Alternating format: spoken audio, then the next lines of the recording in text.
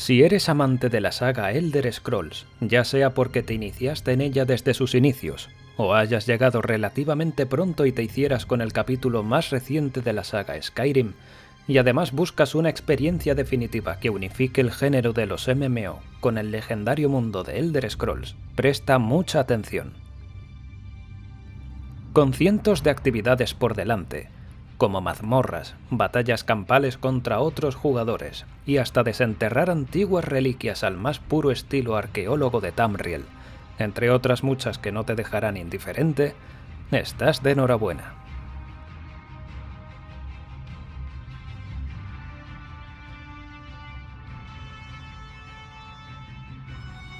Ya sea recorriendo las gélidas tierras de Skyrim,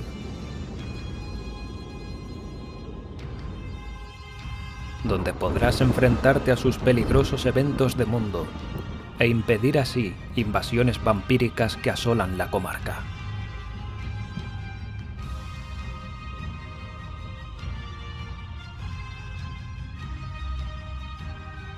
Tal vez deteniéndote un instante a deleitarte la vista con la exquisita arquitectura de alguna de sus ciudades y visitar alguna taberna para relajarte.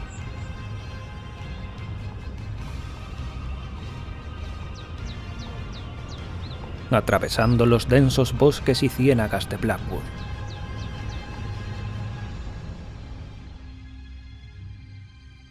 adentrándote con valor en alguno de sus portales para derrotar a las fuerzas de Merun Steigon en las baldías tierras de Oblivion. Admirando las cálidas tierras de Elsewhere, hogar de callitas,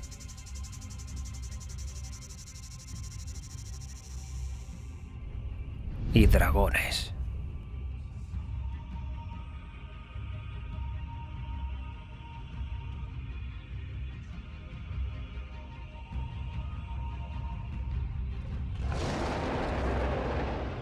Quizás pasando el tiempo en decorar tu propio hogar para ser la envidia de tus amigos o compañeros de hermandad.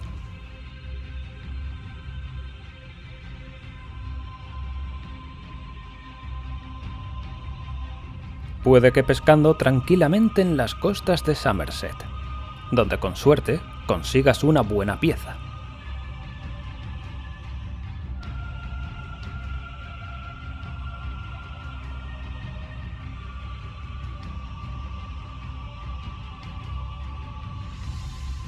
o explorando peligrosas criptas llenas de peligros hace tiempo olvidados.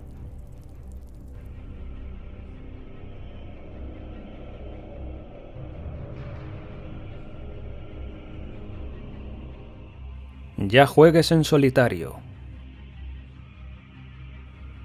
o con amigos.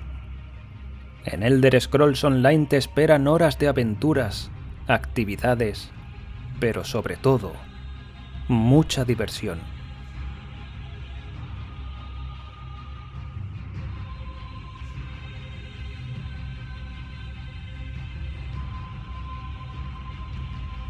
Esto es Elder Scrolls Online.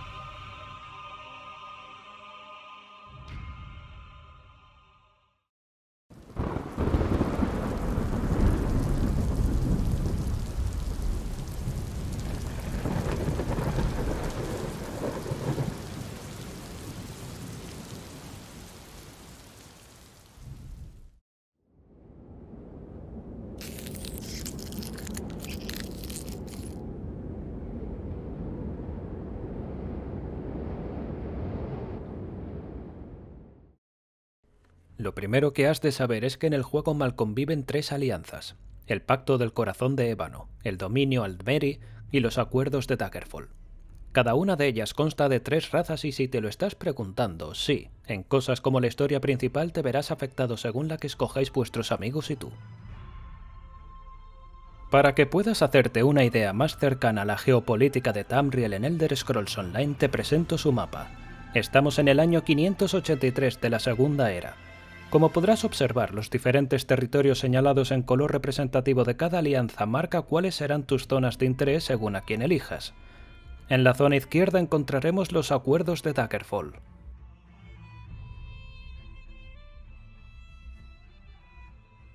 En la zona baja encontraremos el dominio de Aldmeri.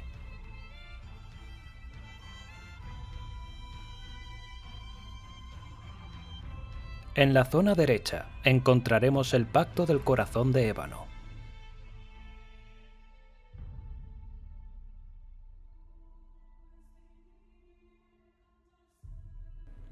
La región central, Cyrodiil, es el territorio en disputa por estas tres alianzas y la zona abierta para las conquistas y batallas campales entre las tres alianzas. Cabe destacar que existe otra raza de pago como es el Imperial que puede pertenecer a cualquiera de las tres alianzas. Esto podría facilitarte poder jugar con amigos en diferentes alianzas, aunque no es la única forma. Más adelante veremos cómo podemos resolver este problema. Cuando inicies tu aventura por Elder Scrolls Online, como es evidente deberás hacer tu primera y más importante elección en el juego, qué alianza elegirás defender y la raza y clase de tu personaje. De base, como ya te he mencionado, cada alianza se comprende de tres razas exclusivas cada una. Así que a menos que tengas la raza imperial comprada o un upgrade que veremos más adelante, deberás escoger muy bien tu alianza porque quizás las razas que la componen no sean de tu agrado. En el equipo azul de los acuerdos de Daggerfall encontrarás las siguientes razas. Bretón, con una habilidad racial muy codiciada por healers y magos ya que aumenta su regeneración de magia.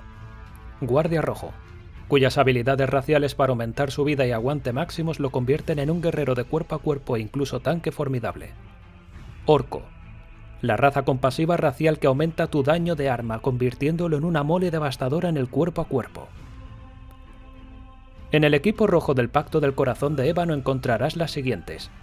Nórdico, cuyas resistencias y vida máxima lo convierten probablemente en una de las mejores razas para tanquear en el juego. Argoniano, cuya habilidad para nadar más rápido o regenerar recursos adicionales por beber pociones le convierten en una raza de lo más útil. Elfo Oscuro. Sus habilidades raciales para resistir daño de fuego y potenciar la magia le convierten en una raza potencial para personajes mágicos e incluso vampiros. En el equipo amarillo del dominio de Almeri podrás escoger estas otras. Callita, cuyas pasivas para aumentar curación y daño críticos, mejora de robo y regeneración de recursos la hacen la más polivalente de todas. Elfo del bosque, por si estás pensando en Legolas. Alto Elfo, la raza con aumento en daño mágico para hacer magos letales. Además, pese a no ser el MMO con más opciones para personalizar nuestros personajes, sin duda no se queda corto tenéis una libertad bastante avanzada para poder crear personajes de lo más chulos e incluso aberraciones bestiales. Como nuevos jugadores, uno de los primeros grandes consejos que puedo daros es que cada día os acerquéis al establo de cualquier ciudad. En él podréis aumentar la velocidad máxima de vuestra montura hasta en un 60%, aumentar 60 puntos el aguante total de vuestra montura para que pueda pasar más tiempo sprintando y aumentar vuestra capacidad de carga o inventario en 60 puntos adicionales, y creedme que lo vais a notar mucho. Esto es algo que debéis hacer cada día si tenéis la oportunidad. A diferencia de otros MMO, este es un juego por instancias, es decir, zonas delimitadas con pantallas de carga entre unas y otras. Cuando comiences el juego tendrás un mapa parecido a este a excepción de los iconos oscuros que veo yo por un addon de PC. En otras palabras, verás un mapa desierto con los únicos puntos de viaje principales de cada región de Alianza y DLCs. Después de recorrer cada mapa y rincón, descubriendo cada punto de viaje, tu mapa debería parecerse algo más a esto, lleno de puntos de viaje blancos que facilitarán tu vida en el futuro. Así que te sugiero que explores cada mapa que visites. El siguiente apartado con el que deberías empezar a familiarizarte es la tienda de coronas, o Crown Store. Es el lugar donde podrás comprar diferentes cosas con dinero real que canjearás por las mencionadas coronas. Desde monturas espectaculares que solo influyen a nivel estético, atuendos para mejorar nuestra apariencia o decoraciones para tu hogar. Además, puedes pagar la suscripción de ESO Plus que incluye ciertas ventajas para la cuenta que podrás ver aquí pausando el vídeo. Existen diferentes planes de pago y debes saber que no es obligatorio ni te da ventaja sobre otros jugadores. Y es precisamente aquí, en el apartado de ofertas especiales donde puedes comprar un pack que te da la posibilidad de crear cualquier raza del juego en la alianza que tú desees. algo de lo más útil, sin duda. Así que, si eres amante del brilli brilli, o quieres tener tu personaje a la última moda, o quieres amueblar tu hogar nivel dios del bricolaje, sin duda pasarás mucho tiempo ojeando las diferentes ofertas que irán añadiendo a la tienda, aunque tus ahorros sufrirán con ello. Pero bueno, es un precio que merece la pena pagar, ¿no es cierto? ¿Quién no quisiera esa cabra cósmica?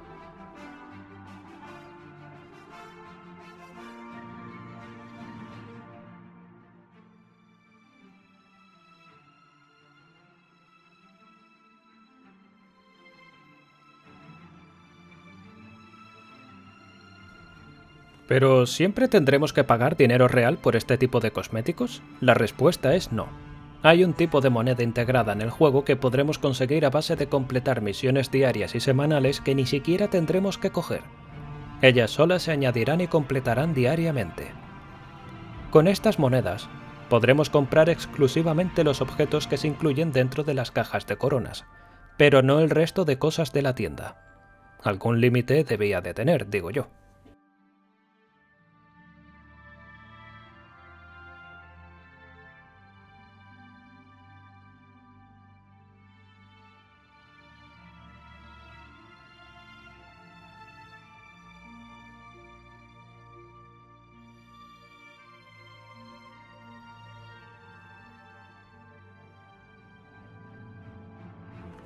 Por último, debes familiarizarte con el menú del buscador de actividades, en el que encontrarás las misiones de moneda gratuita anteriormente mencionadas, además del buscador de grupo para mazmorras aleatorias, específicas y campos de batalla o battlegrounds para PvP.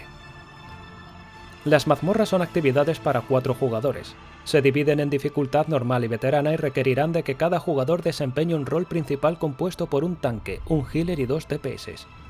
Cada día, Habrá un bonus de experiencia más grande de lo habitual por completar una mazmorra aleatoria, y no importa si la completas en dificultad normal o veterana. Cada mazmorra en la dificultad veterana incluirá un modo difícil para el último jefe en el caso de las mazmorras antiguas, y uno para cada jefe en las nuevas que fueron implementando recientemente. Como podrás ver, la lista de mazmorras es bastante extensa, así que dudo que te quedes aburrido. Los terrenos de batalla o Battleground son un conjunto de juegos diferentes y aleatorios que se disputan tres equipos de cuatro jugadores cada uno. Aunque no es la única modalidad de PvP del juego, en total hay tres contando con esta y prefiero dar paso al Guildmaster de la Fundación para que os explique en detalle cómo funciona el PvP de Elder Scrolls Online. Prestad atención, PvPeros. Esto os va a gustar.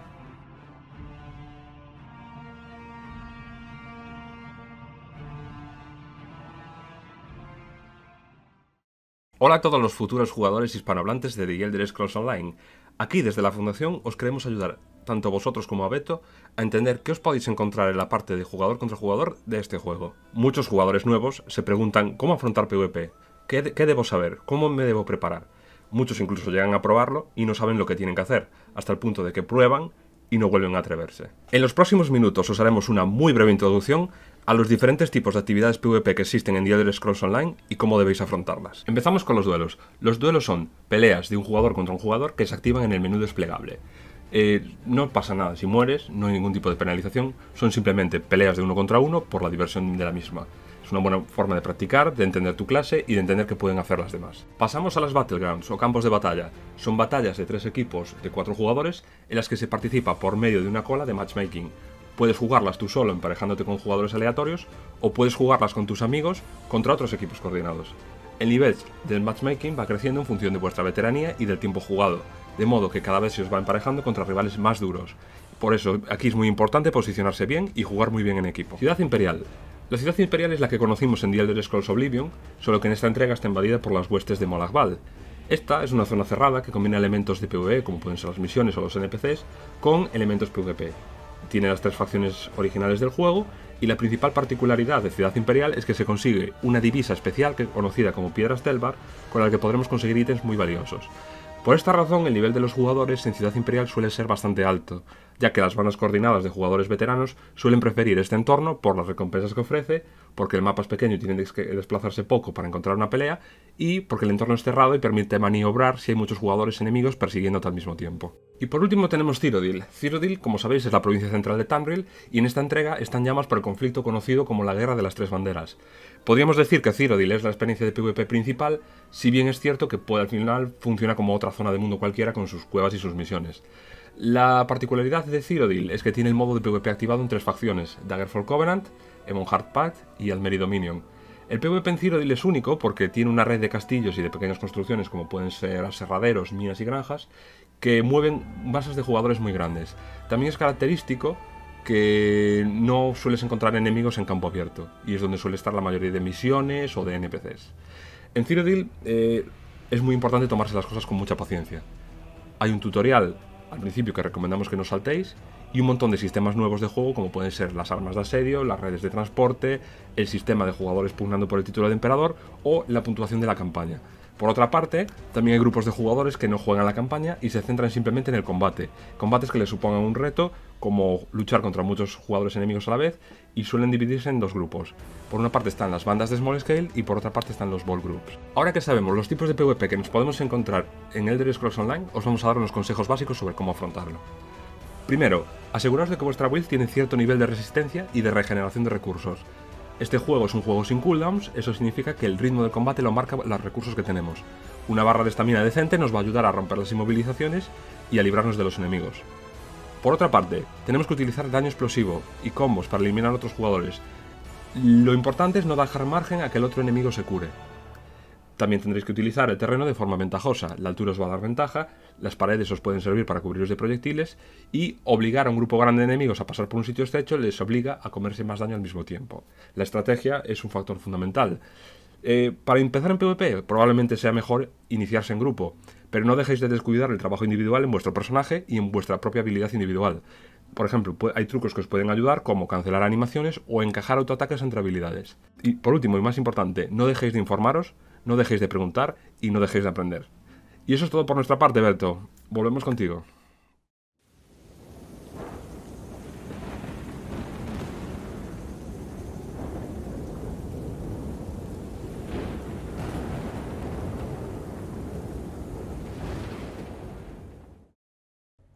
Muchísimas gracias a Luku, líder de la Guilda Hispana, la Fundación de PC Europa, por aclararnos mucho mejor el funcionamiento del PvP.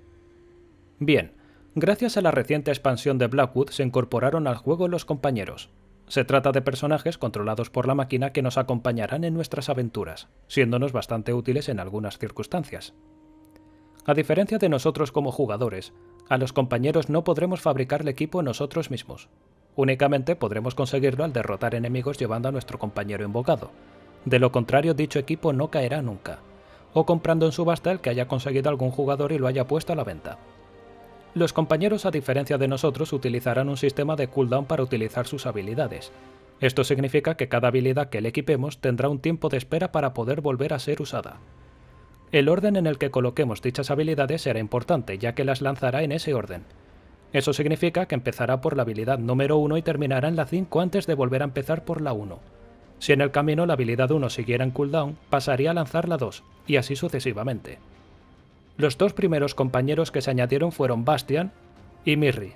Ambos se consiguen en el mapa de Blackwood, en las ubicaciones que acabo de dejaros a la vista. Además podéis editar su apariencia y equipar las mismas monturas que tengáis vosotros. Como en la mayoría de los MMOs, tendremos misiones diarias y entre ellas encontrarán las de crafting o fabricación donde cada día se nos pedirá que fabriquemos cosas distintas y una vez completadas seremos recompensados con diferentes bienes.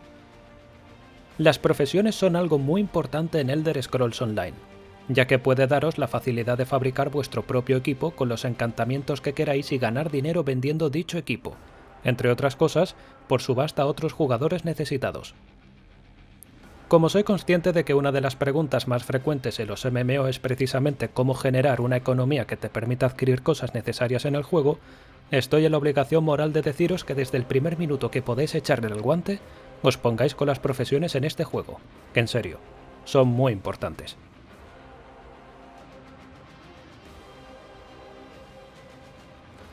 Como es posible que durante vuestra aventura os surjan diferentes dudas sobre ciertas opciones del juego, he reservado en este apartado una breve explicación de algunas utilidades que podrían serviros. En el apartado de opciones encontraréis todos los ajustes que pueden haceros la vida más fácil en el juego, como ajustes gráficos en el caso de PC, el volumen de los diferentes tipos de audio, si queréis que aparezcan ciertas cosas en el HUD del juego o no, como bufos o que las barras de atributo de vida, magia y aguante siempre sean visibles, y hasta poder ver la curación o daño que hacéis a los enemigos y aliados, el color de las áreas enemigas y aliadas, etc. En caso de PC, hay una opción para activar el control por mando. Si tenéis un mando de Xbox os lo reconocerá al instante y cambiará vuestra interfaz por la que tiene el juego en consola. Algo interesante para los jugadores que se sienten más cómodos usando mando.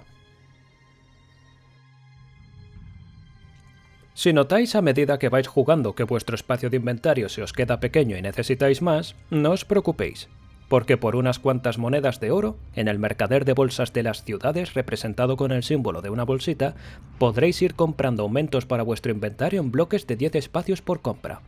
Aunque cada vez irá siendo más caro, así que necesitaréis hacer unos cuantos ahorros primero. Pero eh, merecerá la pena.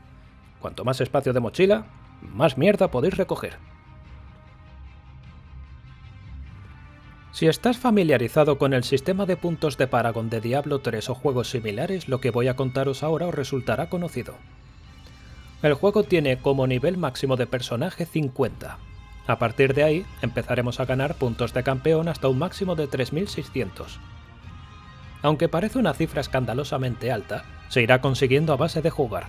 Descuidad. Se dividen en tres agrupaciones, la de color verde, color azul y color rojo. En el grupo de los verdes encontraremos pasivas de utilidades para el personaje como las profesiones, el robo, etc.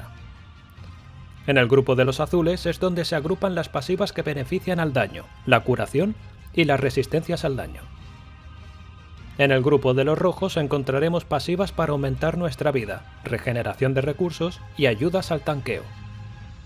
Te aconsejo que inviertas unos minutos en tu partida a leer cada una de ellas para encontrar la mejor combinación para ti.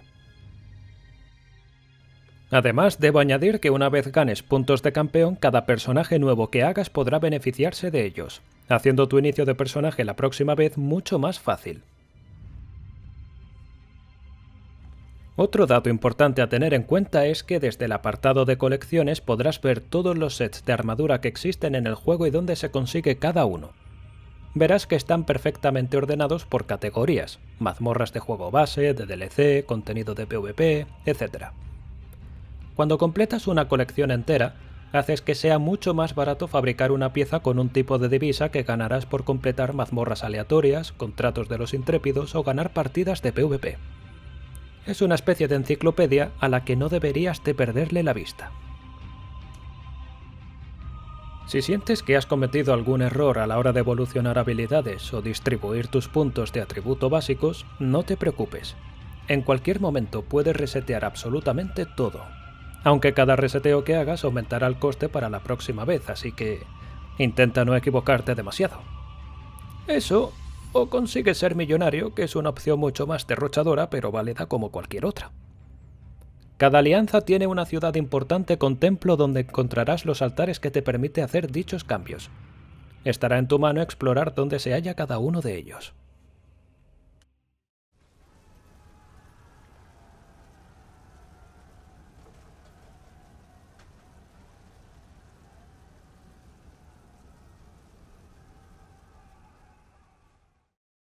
Como en toda buena historia dejamos para el final lo mejor, el high-end del PvE.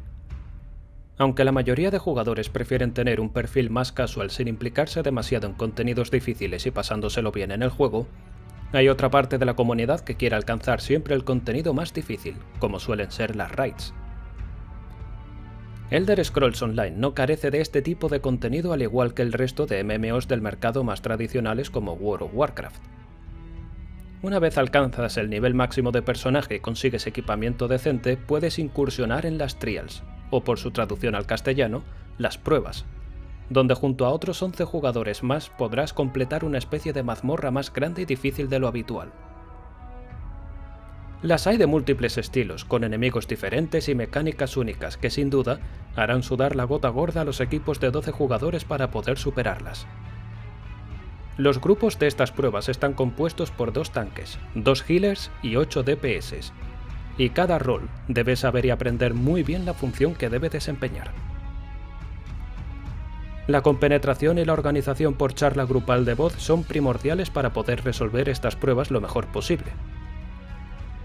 Algunas mecánicas requieren de varios intentos hasta poder aprenderlas y empezar a hacerlas bien, así que es un tipo de actividad que requiere dos cosas fundamentales, progreso y esfuerzo.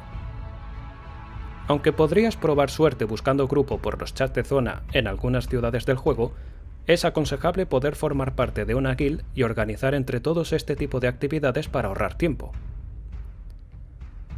No obstante, la joya de la corona en cuanto a dificultad se refiere reside en saber hacer un buen DPS. Elder Scrolls Online utiliza un estilo de combate muy diferente de lo que estáis acostumbrados a jugar, Así que daré paso a Oli, streamer de la Guilda Fundación, para explicaros en detalle cómo funciona el sistema de DPS de Elder Scrolls Online. Muy buenas a todos los jugadores de habla hispana que vais a venir con la traducción al castellano de The Elder Scrolls Online. Yo soy Biohaferrer y soy streamer de este juego.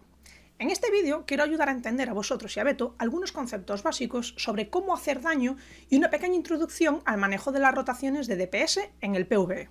Hacer buen daño es fundamental en PvE, para superar ciertas barreras que nos llegará a plantear el contenido que hagamos, como pueden ser mecánicas a contrarreloj, acumulación de cada vez más enemigos que nos hacen daño, o simplemente el hecho de que una pelea muy larga y aburrida nos puede causar frustración y agotamiento a nosotros y a nuestros amigos. En resumen, tener un daño alto nos va a hacer la vida más simple y no es complicado de conseguir una vez se han comprendido unos conceptos básicos.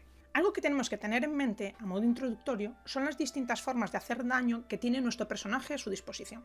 La primera son los ataques propios del arma. Al igual que en Skyrim o Oblivion, nuestro personaje podrá atacar con su arma cargando en mayor o menor intensidad la potencia del ataque en función de lo fuerte que presionemos el botón de ataque. Esto no consume recursos y lo podremos hacer en todo momento.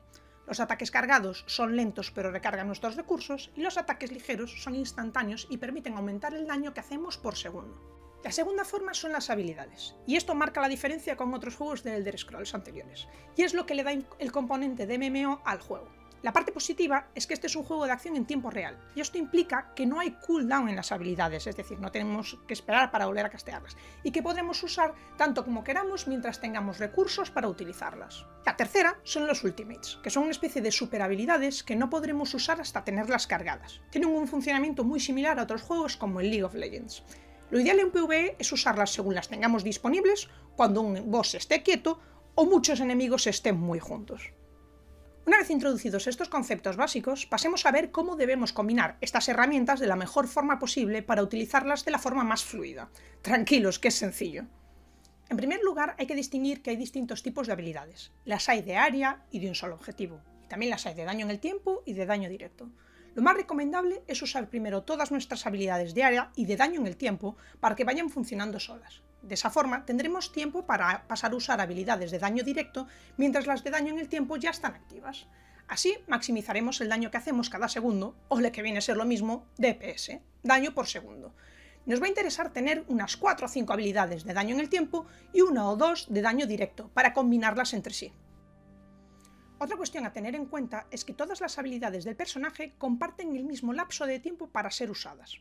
Esto significa que tenemos un límite, solo podemos usar una habilidad en cada segundo, motivo por el cual aquí nos vemos obligados a combinarlas con la única otra herramienta que tenemos disponible. Exacto, con los ataques del arma. Esta práctica consigue utilizar de forma continua los ataques del arma con las habilidades del personaje. Si se realiza con el ritmo correcto, ni súper rápido ni súper lento, nos permite realizar muchísimo más daño en un intervalo corto de tiempo, y es un truco esencial para llegar a hacer niveles altos de daño. Obviamente nadie se convierte en un maestro inmediatamente, y aunque penséis que no sois capaces, os garantizo que la práctica hace la mejora, y en breves alcanzaréis saber pequeños trucos como cambiar de barra o cancelar animaciones. Pero esto solo es una introducción. Por ahora, centraros en tener claro lo básico y en divertiros. Para más información, siempre podéis preguntarme en Twitch, en Twitter, e intentaré ayudaros siempre lo más rápido que me sea posible. Y ahora Beto, volvemos contigo. De nuevo, muchísimas gracias a la maravillosa gente de la Fundación, Guild Hispana de Teso en PC Europa, y en especial a su streamer Biohazard Girl, Oli para los amigos, cuyos links podréis encontrar en un comentario destacado de este vídeo. Sin lugar a dudas, Elder Scrolls Online tiene mucho que ofrecer si estáis dispuestos a darle la oportunidad y el tiempo que merece. Ya sea por adentrarse en su mundo explorando cuevas y leyendo libros, combatiendo a gran escala tal vez en las batallas de PvP de Cyrodiil, o completando estas raids en grupo. Lo que diferencia a este juego del resto en el sector es la inmensa libertad que ofrece para explorarlo en la forma que quieras, casi sin restricciones. Es un Elder Scrolls de toda la vida, pero esta vez con más jugadores con los que vivir aventuras en su mundo. Espero que os haya servido de ayuda esta introducción a Elder Scrolls Online y que os anime sobre todo a querer probarlo. Como siempre digo, de haber sido así, me ayuda muchísimo tu apoyo para seguir creciendo dejando un like al vídeo. Cualquier duda que te haya podido quedar, puedes dejarla en la caja de comentarios y encantado te la resolveré. Y no olvides sobre todo suscribirte para saber cuándo subo contenido nuevo. Nos vemos pronto con más guías y streams. Un fuerte abrazo.